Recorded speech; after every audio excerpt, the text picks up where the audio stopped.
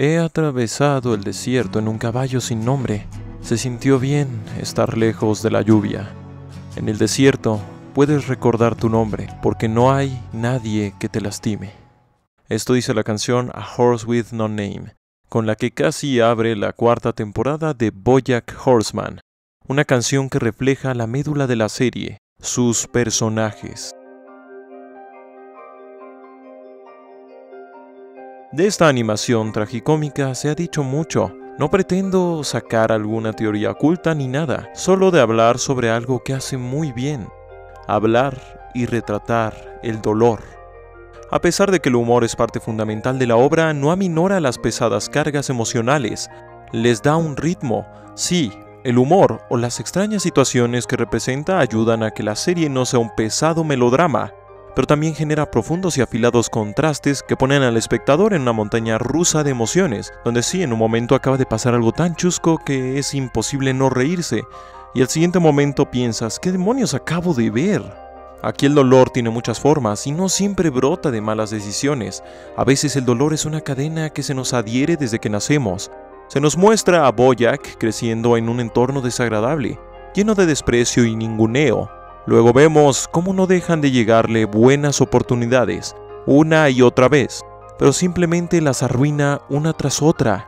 Desde fuera será fácil decir que es un idiota. Desde fuera será fácil decir que Boya que es un idiota y que por eso le pasa lo que le pasa.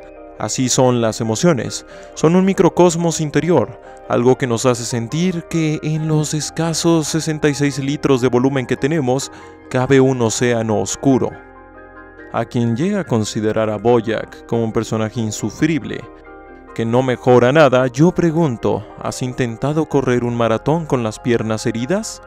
Bueno, ahora imagina vivir con la voluntad y la dignidad herida. Hay quienes despotrican sin más contra Oyasumi Pum Pum por lo poco que hace el personaje principal para estar mejor y lo mucho que hace para arruinarlo todo, se admite que el manga arrastra varios errores, pero también muestra lo profundo que puede llegar el dolor y lo poco que la gente puede llegar a comprenderlo, incluso tras haberlo sentido en sus propias carnes. Pero regresando, tras las temporadas, Boyack se da cuenta primero de que lastima a otros, que su dolor no le justifica ser como es. Eso paradójicamente le sume más, tras eso no pasa lo que pasaría en una película melosa, que el héroe cambia y se cura salvando así el día. No, se pierde en una búsqueda ciega de alivio, que pasa por todo tipo de sustancias y autodestrucción. Ahí a donde va, el alivio es pasajero, pues en realidad solo está huyendo del dolor, y en esa huida solo causa más y más sufrimiento, hasta que la muerte de Sarah Lynn le hace tocar fondo. Pero aquí la serie plantea otra gran diferencia. Tocar fondo no significa que todo irá para arriba. No, el sufrimiento extremo no revista a nadie de bondad ni de mayor dignidad. Por sí mismo el sufrimiento no sirve para nada en cuestión de desarrollo personal. El dolor no purifica por sí mismo. La autodestrucción no conduce a ningún lugar. Normalmente tan solo es una vuelta más en una espiral donde cada vez se cae más y más profundo hasta que se rompe la espiral o hasta que ya no se puede más.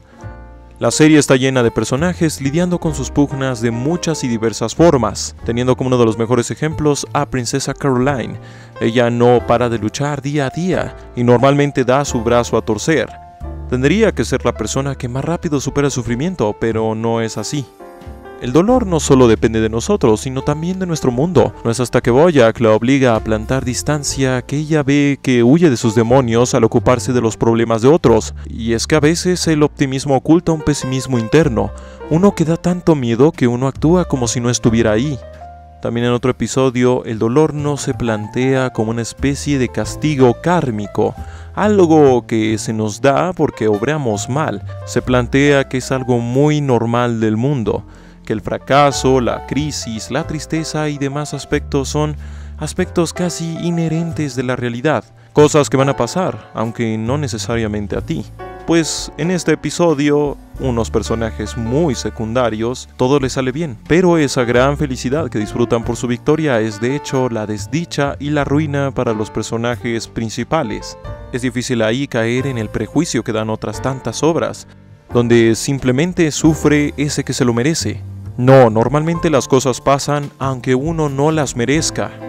Pero el punto más devastador llega cuando vemos que aunque Boyack haya pasado tanto sufrimiento y haya intentado mejorar un poco las cosas una vez más, aún está lejos de comprender y conciliar sus problemas con su madre, la fuente de mucho de su dolor. Ella, que se nos pintó como un ser abominable, es luego revelada como alguien a quien el dolor le corroyó hasta la médula, y aún ante eso al final intentó librar a alguien más de lo que le pasó a ella. Y al final, a pesar de todo, su arco no termina con una real redención.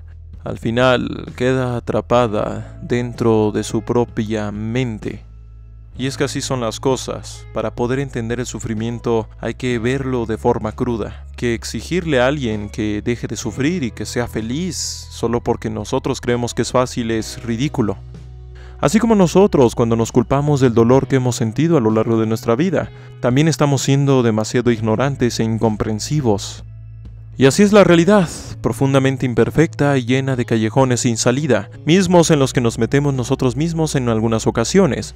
Somos frágiles y a veces hasta lo que parece un bonito sueño adolescente puede hundirnos hasta la más profunda miseria. No todo lo malo surge de malas intenciones, sino a veces las peores pesadillas nacen de la vid de los sueños. Pero al final de todo esto hay una chispa entre tanta oscuridad. No se trata de decir que el dolor es bueno y purifica, no, sino que lo que las personas hacen con su dolor puede evocar cierta belleza, cierta admiración, cierto alivio, a través de su imperfecta comprensión sobre su madre y el dolor venido de su sensación de falta de familia real, Boyack entiende que su supuesta hija en verdad necesita cerrar el ciclo sobre quién es su madre, y al hacer el esfuerzo para ayudarle, da un paso más hacia el amor propio. No es que la vida le deje de doler, solo que sigue adelante. Termino este video con una frase propia de hace dos años. La realidad es indiferente de nosotros, pero nosotros podemos ser empáticos. El mundo es cruel, pero nosotros podemos ser bondadosos, a pesar de ser seres llenos de defectos y vernos acusados por la sombra del pasado o de los futuros que nunca serán. Incluso podemos revelar fulgor del más profundo dolor. Después de tres días en la diversión del desierto, miré al lecho de un río y la historia contó de un río que fluyó. Me entristeció pensar que estaba muerto.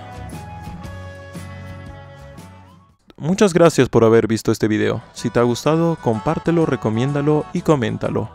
Eso sería de gran ayuda. Se despide César Hernández, alias Esquizofrenia Natural. La realidad es frágil.